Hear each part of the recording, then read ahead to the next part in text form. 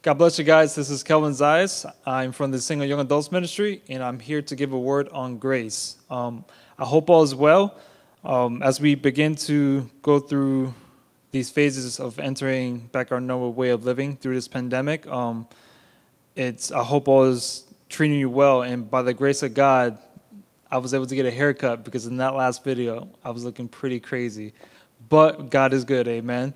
But yes, I want to talk on the topic of grace and how that pertains to to single young adults. And the keywords that I want to bring out is in Ephesians chapter 2, verse 8. For by grace you have been saved through faith, and this is not your own doing, it is the gift of God. Grace is a gift given to us by God. Um, the spiritual definition of grace would be the free and unmerited favor of God. Essentially, it's undeserved favor. is an undeserved favor or undeserved gift from God.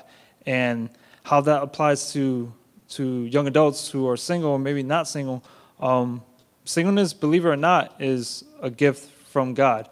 In our singleness, we have more opportunities to to to grow and to focus on our relationship with God. And you might be wondering to yourself, how does how is being single a gift from God? How does mean that having a boyfriend, girlfriend, or whatever, a husband and wife, how, how's that a gift of God? That an undeserved gift for God. Um, and the reason that may be is because in our season of singleness, God helps us grow. He helps us grow as individuals, build up a character. He molds us into the man or woman of God that He set us out to be. Um, he protects us from unnecessary relationships that we didn't have to be in and protects us from heartbreaks that we don't have to go through or didn't have to go through at all. Um, and we, he, he gives us the gift of just having more time to spend with him, to focus on him. And that's not saying that you can't have all those things to, um, uh, you, in, in your singleness, that you can't when you're not single, if you have a boyfriend, that you don't have that time to spend with God. I'm not trying to say anything like that, but we do have more time in our season of singleness, and that is a gift. God has freely given us all these things in our season of singleness, even when we don't deserve it, even though we've failed God countless times um, in our daily lives or or in the past, God gives us that freely, even when we don't deserve it. And that's an awesome thing to to, to have. We may not realize it, but all that that individual growth and protection, like that, that's a gift. And even though we don't deserve it, God freely just gives it to us. Amen. Um, and to give us a better perspective on that, um, I want to ask you a question that you got to ask yourself as I'm going through this word, which is, uh, is Jesus enough in my life? Is Jesus enough in your life? Is God grace enough in your life?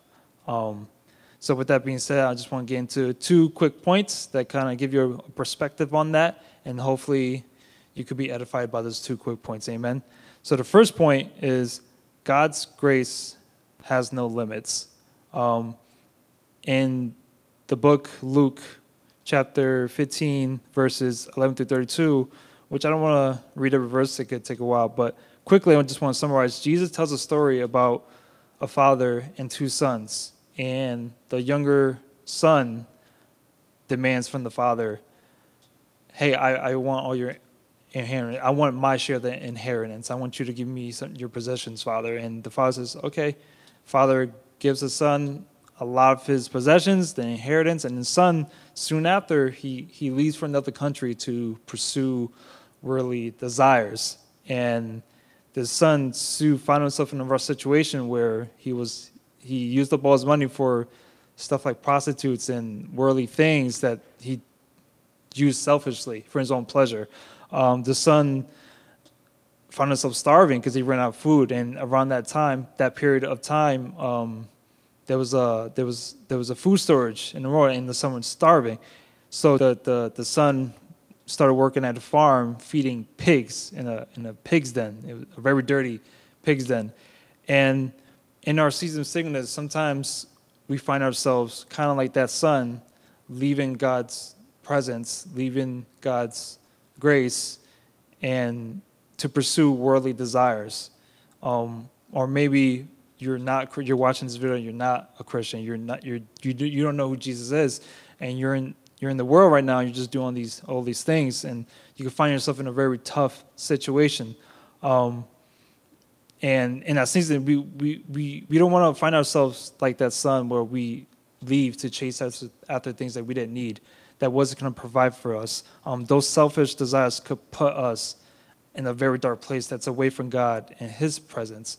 And that could be in the form of you chasing this really attractive guy or a really uh, attractive woman to to because they look good or whatever you, you think they look great they're, they're awesome great personality and you decide to spend less time with god in your season of sickness to pursue uh, that relationship. And because you love god's presence that most likely was a relationship you probably were never meant to be in the first place. And yet you deliberately left God's presence for that for that worldly desire, or it could be in the form of you just want money, so all you're chasing is money, money, money, in the form of jobs or who knows gambling habits or whatever the case may be.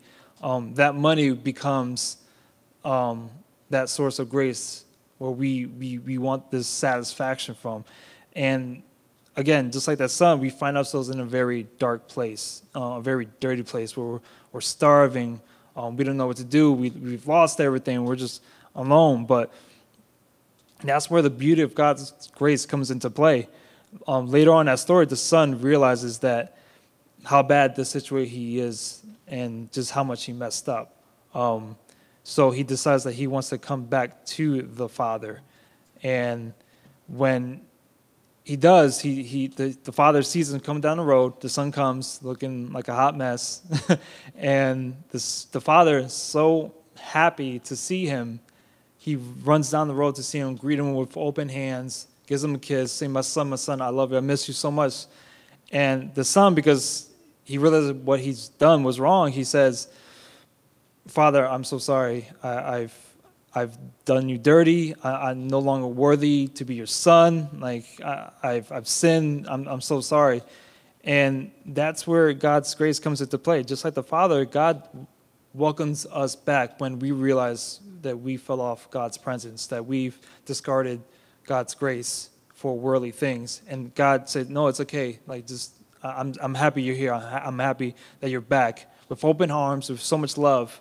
Um, the Father to the son throws a party to celebrate the son's return by telling servants, hey, give him the, the finest clothes, like clothe him, kill the, the fattest cow that you have so we could have a feast and make some pinchos or whatever. I don't know. But the father was just so happy to see him that he did all these things for him. He said, hey, no, it's okay. It's all right. And that's the thing. The son, like I said earlier, said that I'm sorry, I, I've messed up. I'm not I'm no longer worthy for you. But that's the thing we, we were never worthy in the beginning. Um, grace is, again, an undeserved gift, it's an undeserved favor. We were never worthy for God's grace, and yet He's given that to us anyway because He loves us, because He wants a relationship with us, because He wants us to, to, to grow. And that's where the beauty comes in. And, and so long as we just focus on God's grace and, and, and the gifts that He gives us and the blessing that comes with that, we won't find ourselves in a, a dark situation like the, the, the son in this story did, so long as we just focus on God. And just like the Father, God will welcome us with just loving hands. He, he wants us to come just happy and says, No, it's okay, you're forgiven. You're fine. You were dead, you were lost, but, you, but you're back here with me. So don't think that maybe in your season of singleness you've, you've, you, you fell off, you backslided, and you, you discarded God his grace to chase worldly desires or to chase a, a, woman or a man or money or this and that or whatever the case may be. Don't think that because you did those things that you're not worthy or you don't deserve these things, that God's not going to welcome you back with open arms. No, you are right by one thing, you're, you're not worthy, but that's the thing, that's, that's, that's the amazing thing about God's grace. Like, it's okay. Like, God's grace is enough for you. you, you he gives it to you freely because even when you don't deserve it, He still chooses to love us. So don't think that you can't come back. That God's not there waiting for you with open arms. He's there waiting for you um, in that season that you're in. And you don't need a, a boyfriend or girlfriend or whatever the case may be, money to give you that satisfaction of grace. God gives you that. He's already given you that. You just have to put your faith and believe that like that's there for you. Amen. Um, and I want to go to my next point now, which is to set your eyes on Jesus. Um, to put it simply, where Jesus went, grace accompanied him. Um, there were many examples in the Bible where Jesus did so many things for those around him who didn't deserve it, and yet he did it anyway by his grace um, because he, he wants us to have those things. For example, the, the paralyzed men whose, whose, whose friends went through so much um, to get him to in the presence of Jesus to be healed.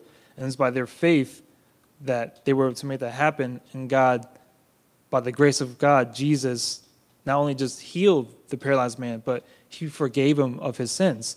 Um, the woman at the well, Jesus helped her helped her see the her wrongdoings, helped her realize that what she's doing was wrong, and by grace that Jesus demonstrated and given to her, she was forgiven. Even if she didn't deserve that, God, Jesus still forgave her of her sins. God still gave his grace to her.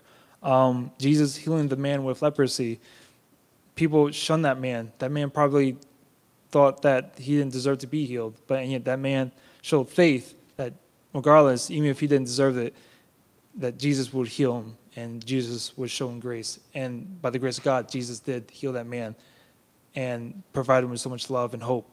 Um, there are many other examples of where Jesus and showed grace and gave grace to people in the Bible. I could go on, but simply understand that where Jesus went, that's where grace was. Where Jesus went, that's where grace was given. Um, and one of the greatest acts of grace, which is also the greatest acts of love, um, Jesus was at the cross. He, he gave his life for us. And that was the greatest gift of grace that, that could have been given to us. Um, that, that grace, that undeserved grace of having our sins forgiven, even when we didn't deserve it. Um, our sins are still forgiven because God freely gave that to us. Um, and just have to remember that God's grace is already given to us, and we shouldn't try to chase this concept of grace from other things. We should seek grace from a man or woman in our season of singleness. We shouldn't chase the concept of grace in money or whatever the case may be. We, we should focus our eyes on Jesus, um, who gives grace, and not the concept of grace and other things, because He's the one that gives it. No one else can, nothing else can. Amen. Um, I remember um, in my beginning stages of being a Christian, um, it was awesome. I was on fire for God. Like, oh, I want to learn this, this, and that, or whatever. I want to understand how God could do this in me, blah, blah. Um, but I went through a dark moment, or I let my flesh, you know, I would have this battle with the flesh, and just like the, the son from earlier, you know, I would seek that grace from other things in my life. Um, because I was being careless or whatever the case be, I just I wanted something more. And I found myself in a dark situation where, you know, I was seeking grace from from from someone or something else, and I, I my my walk with God was was was was tampered with. It was it was it wasn't looking good. But once I focus and fix my eyes on Jesus and realize and understand that God's grace is enough for me, um, that changed my whole perspective on grace and understood that I don't deserve it, but God still gave that to me, and my walk is so much better. My season of singleness is so much better because of that grace that was freely given to us. We have to remember that in this season of singleness, that remember, like we, we need to seek the God that gives us freely that gift. Amen. Um, so I just want to conclude with this and come back to the, to the question that I asked earlier, which is, is Jesus enough in my life? And simply, yes, Jesus is enough. He's more than enough in our life. He's done so much. His grace has provided so much in our lives that we don't realize and we just didn't deserve it. In our singleness, with faith, we learn to, to focus on the beauty of Christ and acknowledge that he, he is enough for me. His grace is enough for me. His grace will build me up into the man or woman of God that He has set me to be.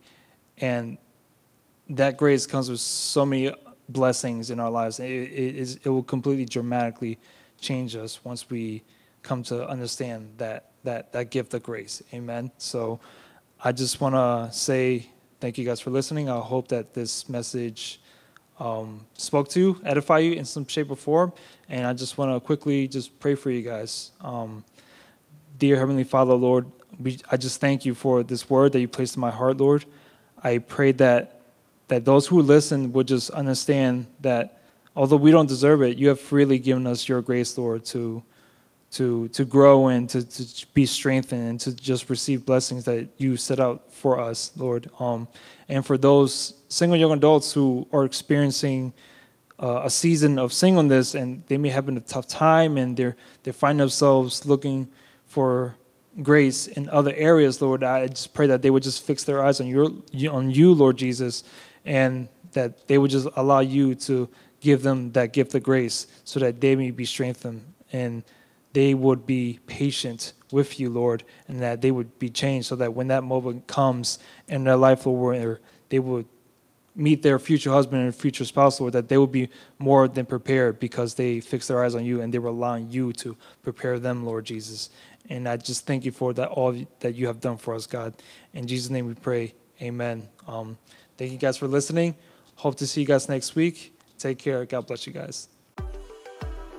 Thanks for watching. Join the conversation and leave a comment below. To hear more messages, make sure to subscribe. If you would like to learn more about Good Shepherd Ministries, visit us on Facebook or check out our GSM website. Thank you, and as always, God bless.